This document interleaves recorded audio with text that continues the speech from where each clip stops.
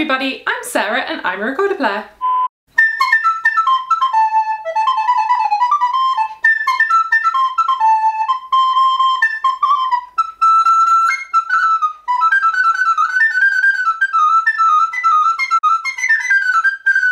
Today I'm going to be teaching you how to play the Badinerie from the Orchestral Suite in B minor by Bach because it's a really fun piece. Now this piece is originally for flute and a string ensemble with continuo. Um, adapting flute music for the recorder happens all the time but it brings up a whole load of interesting questions which we're going to get into in the video. So for a little bit of context, this orchestral suite has a bunch of different movements, a long overture, and that's kind of like the concert part, and then a lot of small dance movements. And the Badinerie, I'm sorry about my pronunciation, is the finale of this whole suite. So it's really like, ah.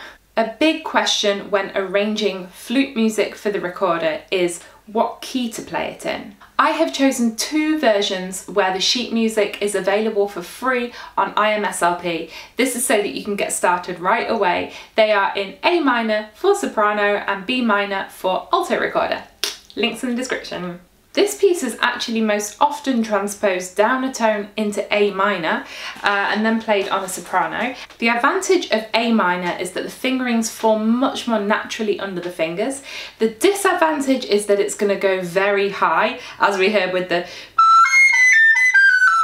the original key is actually B minor. This is something that falls really nicely for a flute, but for a recorder is not so nice. Check out this part here, watch my fingers.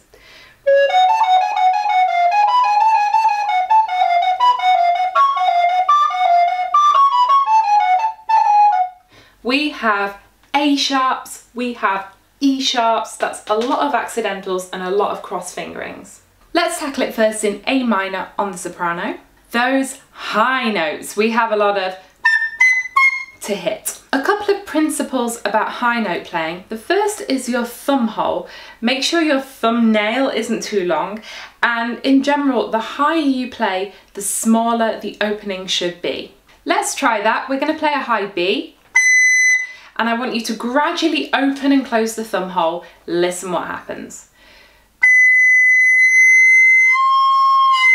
Sorry about your ears. The opening is can I show this?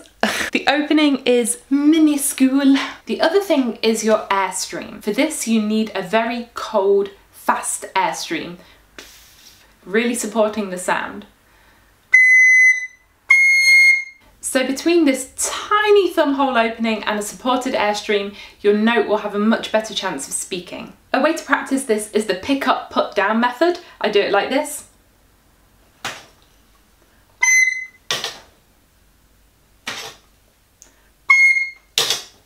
You're training yourself to find those positions quickly and yeah.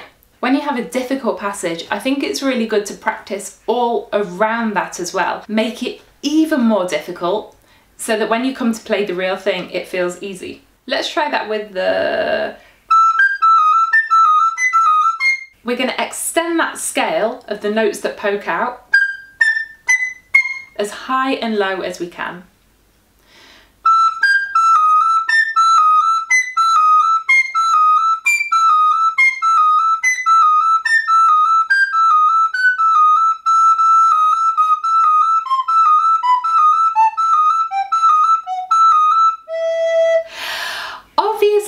I've this. I don't expect you to do it in one go. Don't be afraid to stop in between, think about it, really play the note when you're ready. We have a lot of 16th notes in this piece. I like to practice them beat by beat, but always making the link to the next group of four. Um, for example,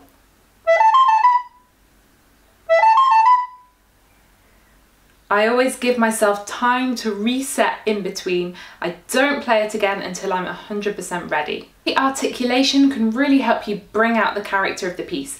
Now this is personal, but I like to do a strong and then a subtle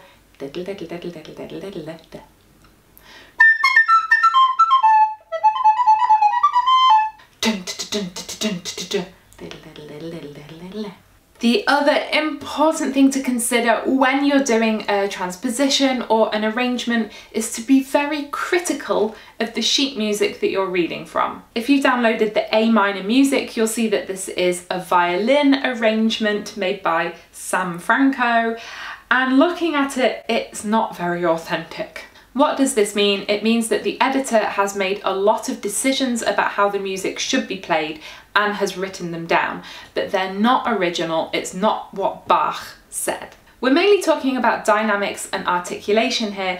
In original Baroque music, there's not a great deal of that written down, but here, uh -huh, if we look at bars 7 to 11, he has actually added 15 different signs. The only original ones are the trills and some staccato. If we look at this part in the second section, he's transposed it down an octave, which obviously doesn't fit on the recorder. I would just transpose it back up again.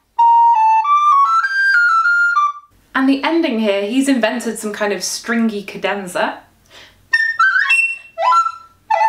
When the original actually goes Baroque music is covered in markings, it pays to be a little bit suspicious.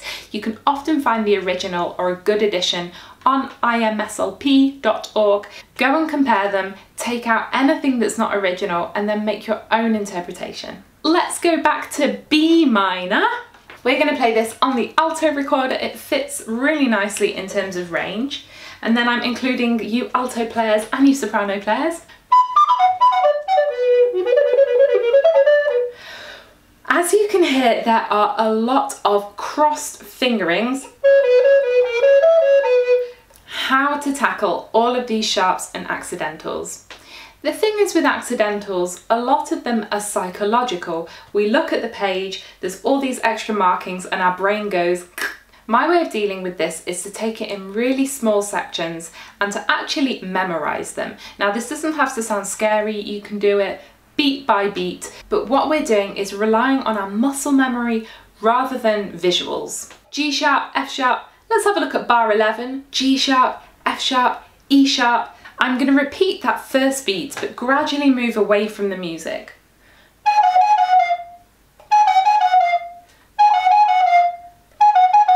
By training my thumb to go there, I'm kind of getting rid of the stress of that E sharp. However, because of the nature of our instrument, often the sharp fingerings are more awkward than the open fingerings. I have gone in detail into how to practice difficult finger changes like this in other videos, links down below, but right now I'm going to say the metronome is your friend. We're going to use the metronome to keep ourselves slow Often it's used to push your speed up and up, but here it's so important that you take the time and stay slow, especially with an exciting piece like this where I always want to like how to pick your tempo on the metronome. Don't use the opening phrase. That is often something you can actually play quite well because it's always the first thing that you play. We're going to look in the music for the most difficult phrase and take that tempo where you can play it comfortably. I think it's probably from bar 12.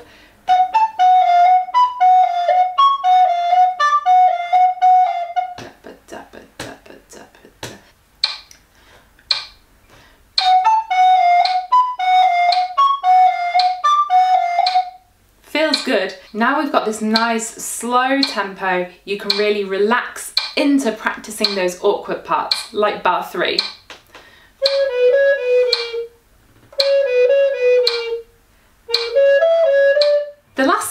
Going to look at are the 30 second notes towards the end.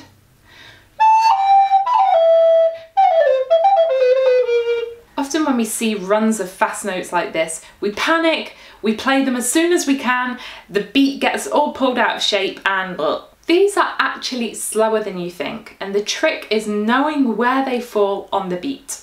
But actually the third to last bar is really relaxed. Dum ba da ba ba bum. Here I would break it up into smaller chunks and keep your fingers really relaxed. Don't forget to join it all back up again so you have nice long phrases and it doesn't sound fragmented.